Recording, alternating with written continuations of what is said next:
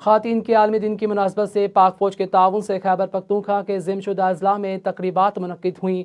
तफसीत के मुताबिक खैबर पखतूखा के कबायली इलाकों के बाशौर और जफाकश खातन के खातन के आलमी दिन के मौका पर मुख्तलिफ़ तकरीबा में भरपूर हिस्सा लिया। खैबर पखतूखा के जिमशुदा अजला की जफाकश खातन ने न सिर्फ़ समाजी फलाह और सेहत के इदारों, बल्कि सियासी मौशी तलीमी और सिक्योरिटी के शोबों में भी मर्दों के शाना बशाना कलीदी करदार अदा कर रही हैं। खातन के आलमी दिन के मौका पर इन्हें बाहिम्मत और बासलाहियत खातन को खराज तहसीन पेश किया गया। बिलाशुबा तलीम याफ्ता औरत ही औलाद की किरदार साजी और समाज की जिम्मेदाराना परवरिश की जामिन है।